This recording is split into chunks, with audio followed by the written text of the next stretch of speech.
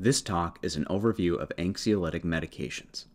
In this talk, I'll be focusing on as needed or PRN medications for acute anxiety.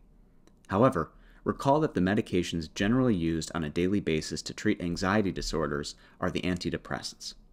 I'll teach you about the different anxiolytics by pointing out some of the key differences between them.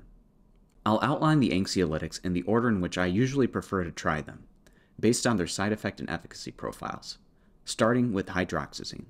Hydroxyzine is an antihistamine that also has some serotonergic and dopaminergic effects in the central nervous system, which are thought to produce anxiolytic effects. Hydroxyzine is a great first choice, as it is safe and well tolerated, though is less potent than other anxiolytics.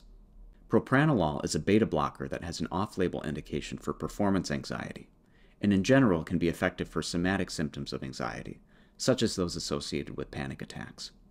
It may be less sedating than hydroxyzine, but beware of the potential for bradycardia and hypotension. The gabapentinoids, including gabapentin and pregabalin, have a mechanism of action similar to benzodiazepines, in that they act via the neurotransmitter GABA. For this reason, they can be helpful for anxiety related to benzo withdrawal, and some evidence indicates benefit in cannabis withdrawal as well. Additional pros are that they treat pain and have wide dosing intervals, so can be titrated very specifically. However, they are renally cleared, so consider avoiding or lowering the dose in patients with renal disease. Quetiapine can be effective for anxiety, particularly anxiety associated with psychosis symptoms, but beware its sedating and metabolic side effects.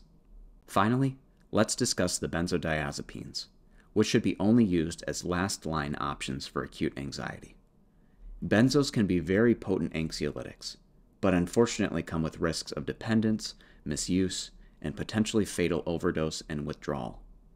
Therefore, when starting a controlled substance such as a benzo, it is important to establish rules for how they will be prescribed, or even have your patient sign a contract.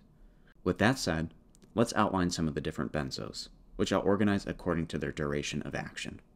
First is the short-acting benzo lorazepam, also known as Ativan. It has a time to peak effect of around 2 hours and a half-life of around 12 hours, though this can vary based on a patient's metabolism. The last column here will list the Ativan equivalent for each benzo.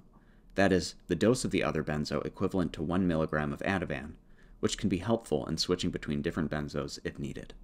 Clonazepam is a middle-acting benzo, with a time to peak similar to lorazepam, but a longer half-life. Diazepam is long-acting, with a longer time to peak and half-life. Finally, alprazolam has the most rapid onset of those listed here. Due to this rapid and potent anxiolysis, it can be very addictive. It also is associated with rebound anxiety, that is, anxiety that recurs after the drug is cleared, and difficult withdrawal symptoms that can make it very difficult to discontinue once started. As such, I tend to avoid using alprazolam in almost all cases. In general, if I do feel that a benzo is indicated, I will start with the longer acting options, only resorting to shorter acting options if anxiety symptoms are significantly impairing despite trying other anxiolytic options. That's the end of this talk. Remember, anxiolytics do not treat anxiety disorders. They should generally be treated with antidepressants and therapy. As such, anxiolytics should be thought of only as a temporary solution to help a patient reduce distress and live a more functional life in the short term, while finding the right combination of antidepressants and therapy to bring anxiety symptoms into remission. Thank you.